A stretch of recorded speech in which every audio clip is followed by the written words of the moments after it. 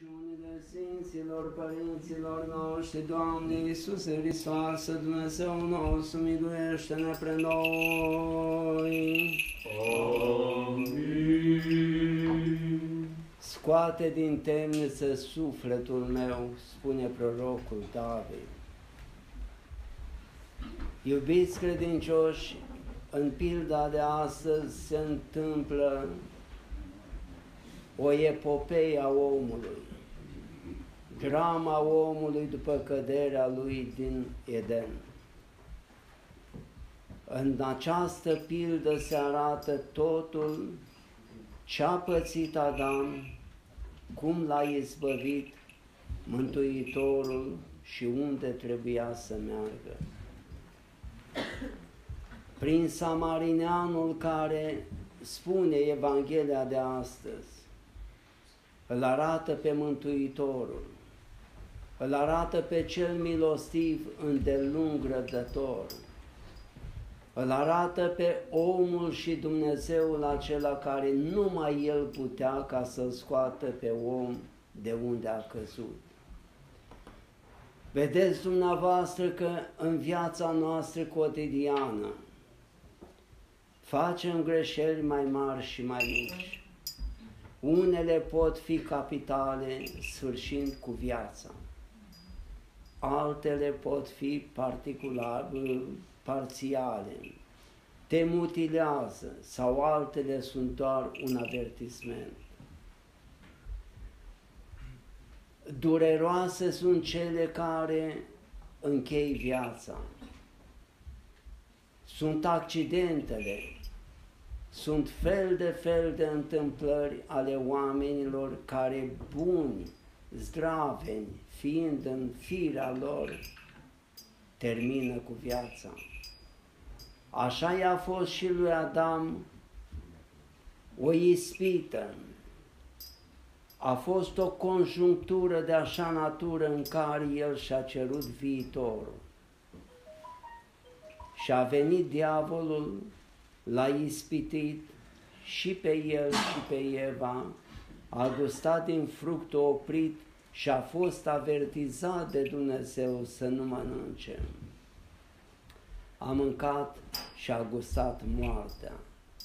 Din momentul acela, omul a curs spre moarte. Spune înțeleptul Solomon, omul a fost zidit spre nemurire și a fost făcut după chipul feței sale. Era de o strălucire care noi nu putem să o intuim măcar. Dar omul, printr-o greșeală mică, a căzut în extremă.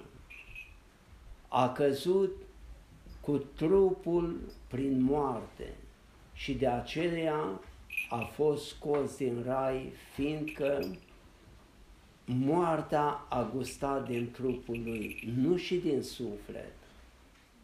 Urma diavolul ca să-l îndemne să mănânce și din pomul oprit unde era sufletul, dar n-a mâncat de acolo, fiindcă Dumnezeu precaut l-a scos din rai.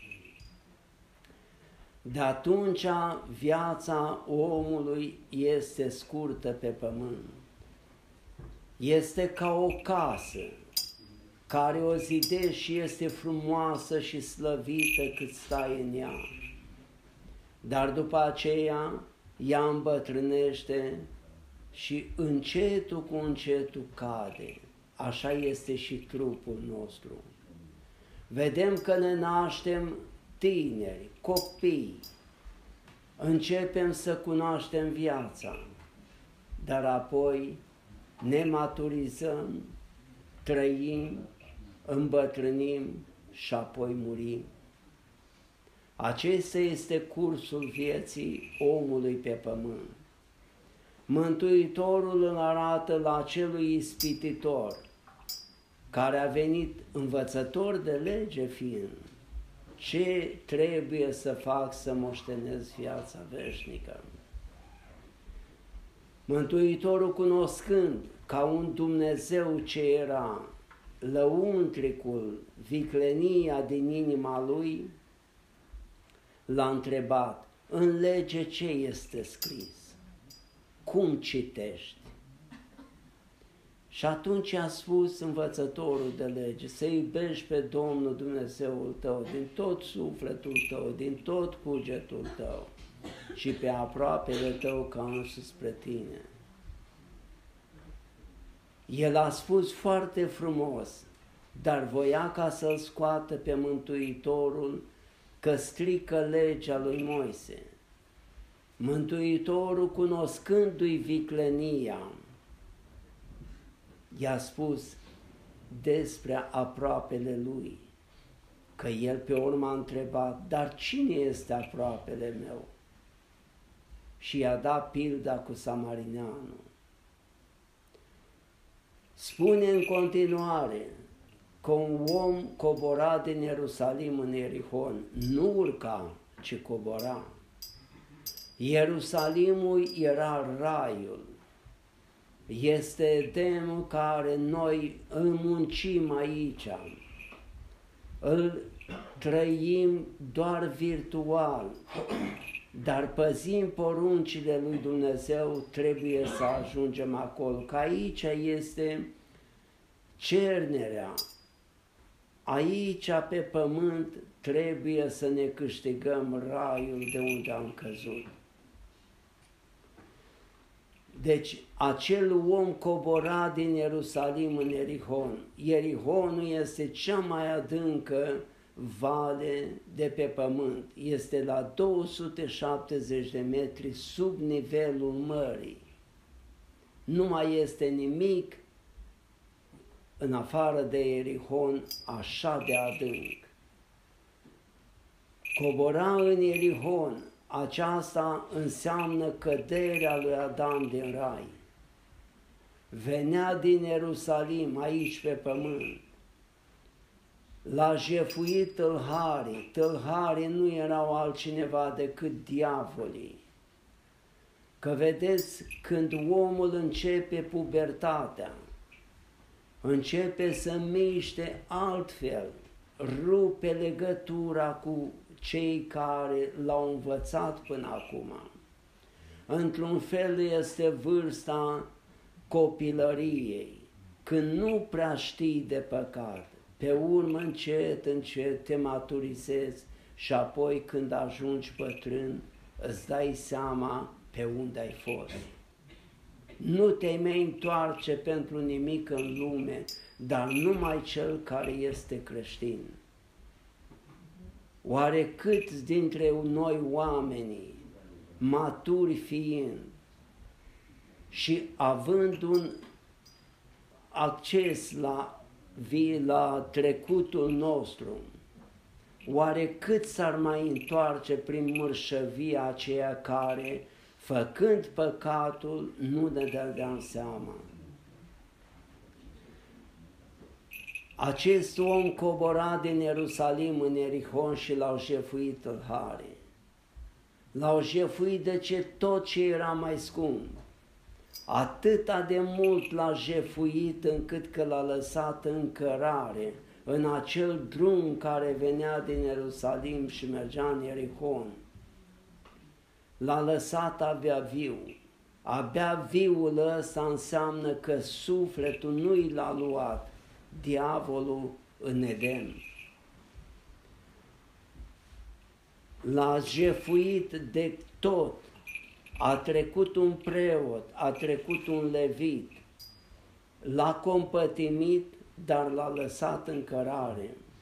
Acel preot și levit se simbolizează, este preoția din legea veche și pleiada de proroci.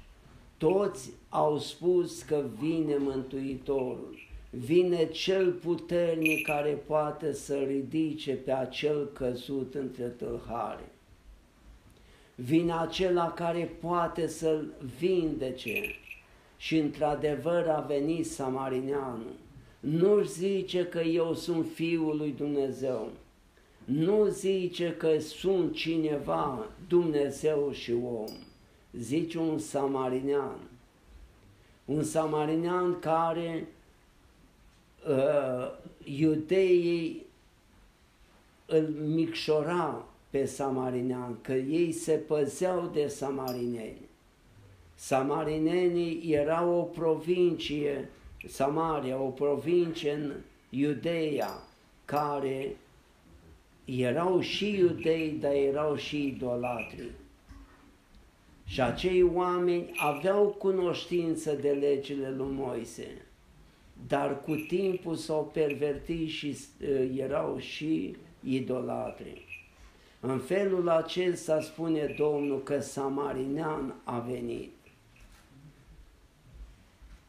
L-a, s-a compătimit acolo, l-a prins pe acel om bolnav, zăcând în boală, dar abia viu s-a plecat la el, s-a oprit în drumul lui, s-a oprit acolo și i-a spus tot păsul lui. A turnat vin și unt de lemn pe ranele lui, aceasta simbolizând un de lemnul care este o materie grasă. Și se folosește și de doctori ca o tinctură spre vindecarea rănilor, iar vinul simbolizează mânia lui Dumnezeu. Că atunci când va veni Domnul Hristos la judecată, El vine de acum cu mânie, că a venit cu blândețe, s-a răstignit, s-a lăsat răstignit de om, de poporul iudeu, de cel mai nobil popor de pe pământ. Și acesta, ca drept răsplată, că a venit și a vindecat pe orbi, i-a vindecat toți bolnavii, au aruncat diavolii din oameni, le-a făcut numai bine iudeilor, ca drept răsplată l-au răstignit. Și vedem lucrul acesta chiar la oameni. Atunci când țipi, îți este viața amară și nu mai ai încotro să te apuci. Te sprijini de oricine or fi, dar după ce ți-a trecut necazul, uiți. Vedem lucrul acesta tocmai la copii are nevoie de protecție când este mic. Țipă, dar pe urmă te uită. Își uită originea și dacă vrei ca să-i spui ceva, nu neapărat ca să tragi de la el niște foloase că tu ești neputincios. Să te asculte în cuvântul tău care vrei mântuirea, îți întoarce spatele. Așa a fost omul cu Dumnezeu. În loc să-i mulțumească Mântuitorului, l-au răstignit pe cruce. Drept mulțumire. A venit Mântuitorul, s-a plecat la cel jefuit în cărare și nu numai că a turnat pe rănile lui un de lemn și vin, l-a luat și în spate, l-a luat pe dobitocul lui. Dobitoc înseamnă partea de animal din noi, trupul, că sunt și animalele, au partea lor, este trupul, dar omul are suflet și trup. L-a luat, adică pe umerii lui, că a venit din înaltul cerului și s-a, s-a înomenit a luat trup de om din Fecioara Maria, fără sămânță bărbătească. Cu alte cuvinte, ne-a luat pe noi pe umerii sale și ne-a dus la casa de oaspeți. Casa de oaspeți este biserica, Biserica care curăță totul de un om care, pentru cel care vine cu mare credință. Vedem că noi în viață ne umplem de toate păcatele, ne umplem de mărșăvie, de mociri la lumii, Pentru aceasta venim la biserică să ne curățim, să ne spălăm, că aici este ca un izvor care mereu curge și tu trebuie să te speli. Deci l-a dus la casa de oaspeți și l-a încredințat celor care erau acolo și i-a spus ce vei mai cheltui, îți voi da înapoi când voi veni. Aici arată că Mântuitorul te-a adus pe tine la biserică și aici în biserică găsești preotul. Acela te spală prin duhovnicie, te curăță, pune ulei și vin pe rănile tale și apoi te lasă iar, dar luând cunoștință cu duhovnicia, prin cei greșit prin neștiință, ei cunoștință cu mulțimea păcatelor din viață, iar un om conștiincios este imposibil ca să mai calce din nou pe unde a mers. A lăsat doi dinari. Aceasta înseamnă cele două testamente, testamentul vechi și testamentul nou. I-a dat aceluia care avea grijă de el, cu alte cuvinte, tu rănit fiind, vii și ei cunoștință de ce este legea lui Dumnezeu, pentru ce a lăsat-o Dumnezeu și cum trebuie ca să mergi în viață. Că totul este să știi să te păzești de lucrurile murdare. Noi, mergând în viață, avem cunoștință de ce este spurcat și ce este curat. Nimeni nu te forțează la ceva spurcat, ci numai tu dacă dai girul, tu dacă zici da sau nu. În tine depinde viața ta, curăția ta. Ei cunoștință cu o curăție, că în legea lui Dumnezeu nimic nu este murdar. Și preotul care este în casa de oaspeți, în casa aceasta sfântă, te învață cum trebuie să te povățuiești în cele sfinte. Este imposibil ca un om care ia cunoștință și crede cu adevărat în Dumnezeu, prin aceasta simbolizând că îl iubește pe Dumnezeu din tot sufletul și din tot cugetul lui și este imposibil ca să cadă. În felul acesta se tâlcuiește Evanghelia de astăzi, cuprinde toată epopeia omului, de unde vine, din Ierusalim, vine din Rai, el comunica de acolo și coboară în Erihon, dar pe drum l-au jefuit tălhare Oamenii de-a lungul timpului au căzut în multe necurății. Diavolul a scos închinarea de idoli. Au ajuns pe timpul Mântuitorului, când a ajuns păcatul la maxim. Oamenii se închinau la sute de mii de idoli.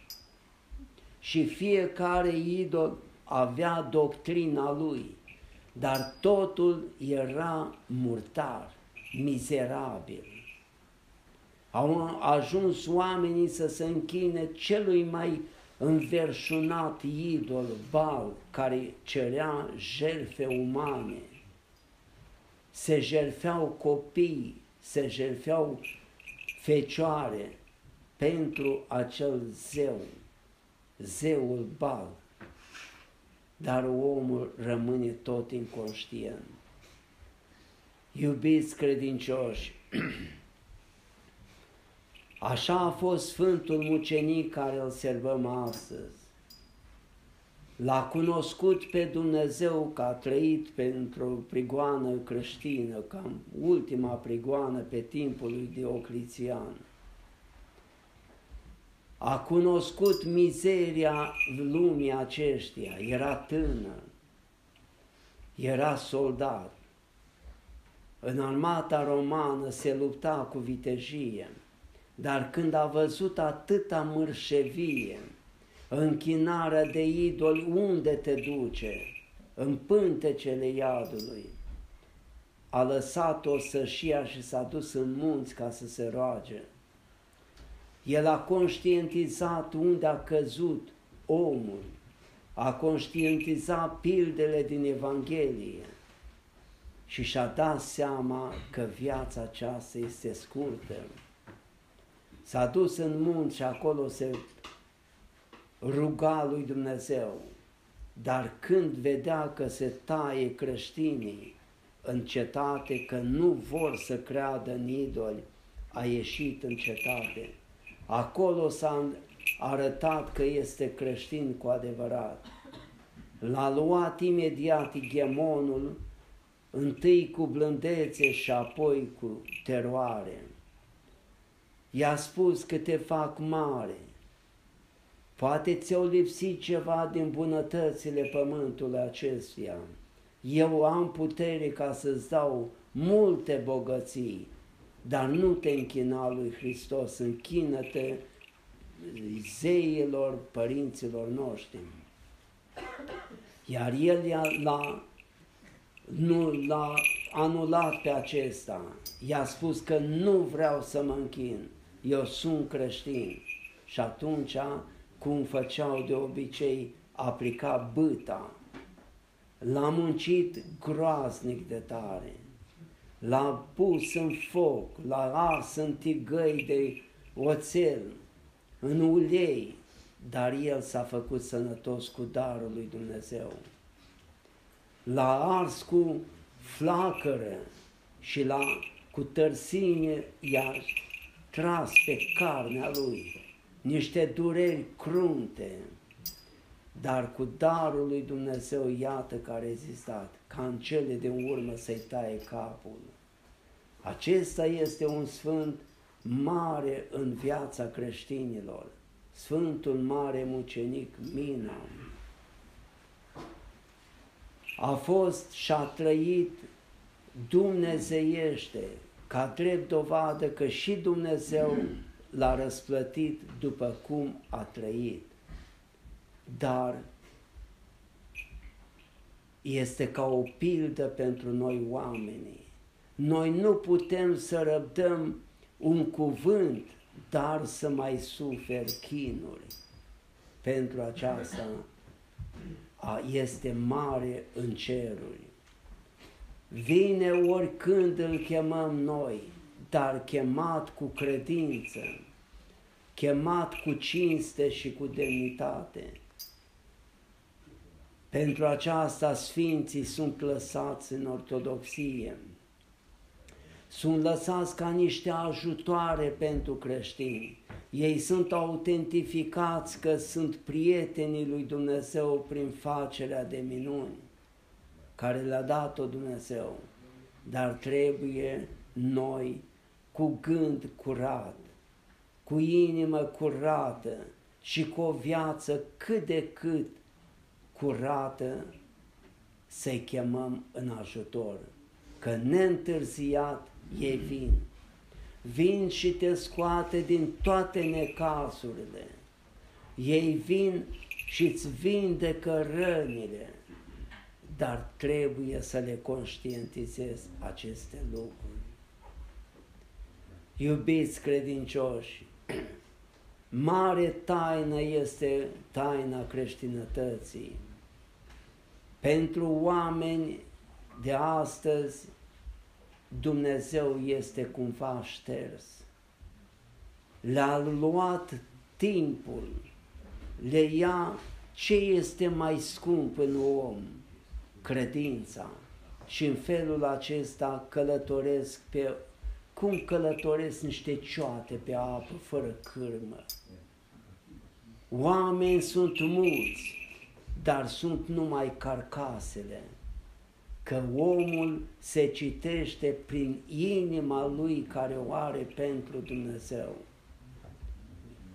Pentru aceasta Dumnezeu ne caută și ne învață să ne deșteptăm odată, să încercăm să fim cât mai curați, cât mai apropiați de adevăr, cât mai apropiați de Evanghelie, că nimic nu este spurcat în Evanghelie sau în perceptele uh, scripturistice.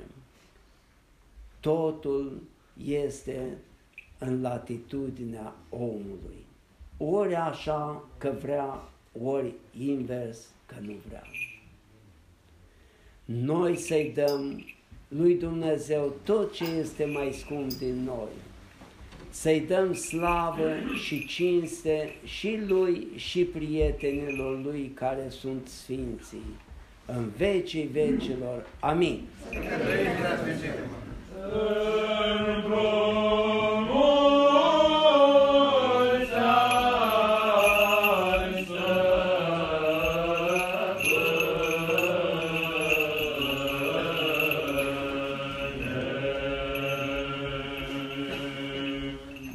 se pare că sunteți invitați la masă.